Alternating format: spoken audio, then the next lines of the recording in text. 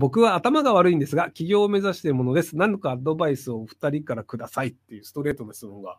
はい。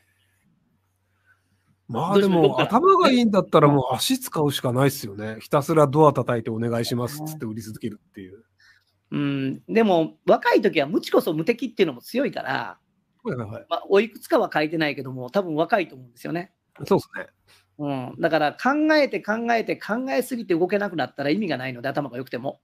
うんうん。だから動きながら考えるっていう意味では、まあ、まあ、さっきの飛行機で言うたら、エンジン片肺でも空に上がるんだったらもう上げてもうた方が景色が見えてくるんで、新しい、無知こそ無敵で僕はいいと思います。まあでもある程度頭が悪くないと起業とかしないですからね。この通り、その通り。やっぱ普通にいい大学行って、なんかいい就職先、就職内定もらっちゃうと、とりあえず就職するかってなっちゃいますよね。確かに。